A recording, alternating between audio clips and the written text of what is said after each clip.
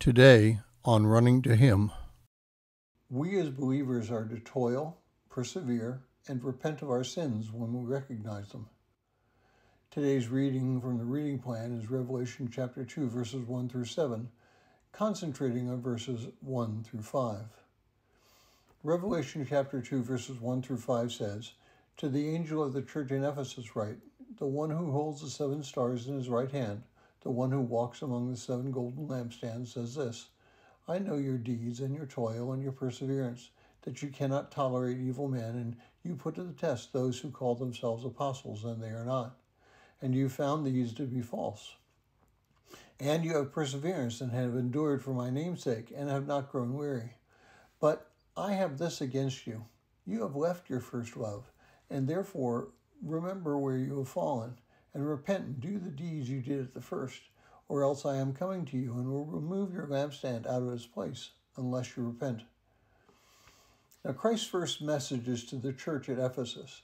The church was one in which Paul had a long term ministry and encouraged them to live righteously and fight evil with God's full power. John had a ministry there as well and had been exiled to Patmos from Ephesus. Christ begins his message to the Ephesians by reflecting on their deeds as believers. They had worked for Christ, they had toiled. Now, the word toil gives us a picture of the weariness one sometimes experiences in his or her work for Christ. There are times we are driven by our passion for Christ's work, but exhausted through that work. As an aside, this exhaustion is exactly why God mandated a day of rest in the Old Testament, a time of refreshment and relaxation. The word perseverance translates from a Greek word meaning to remain even through trials and strife. Perseverance in the Christian walk is shown when trials and strife appears, we do not cower, but rather face them with boldness. Now, one of the most significant examples of this is Polycarp's refusal to be nailed to the stake, but only to be bound to it as he burned. He promised the proconsul he would remain still while he was burned to death. The flames could not consume him, so they stabbed him with a dagger. He died with Christ on his lips. The Ephesians did not tolerate evil men. This attribute is needed today in the Christian world.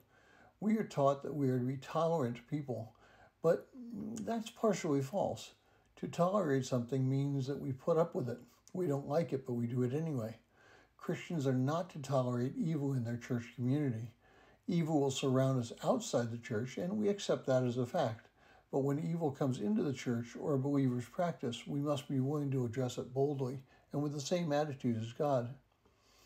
Now, there was something wrong with the Ephesian church. They lost their first love. How can people who are performing all the things for which they were praised lose their first love?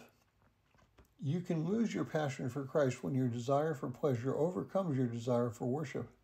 Now, I have no idea what activity it was that the Ephesians were doing, but some of our churches today have lost the power of worship and replaced it with the power of worshiptainment. These churches bring many into their doors through appealing to the senses and entertainment rather than the work of worship. They have replaced spiritual disciplines with emotional fluff. Today's church has much to its credit, as the Ephesians church had much to their credit.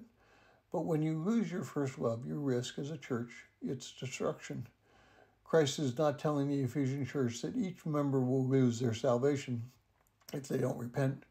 He is telling them that the church's community would be destroyed because of their lack of repentance. Thank you for listening. We pray that today's devotion was meaningful to you. We would love to hear from you. You can use either Facebook or YouTube to like, subscribe, share, and tell others about us. If you would like to contact us, you can reach me at Phineas Jacobus at runningtohim.net.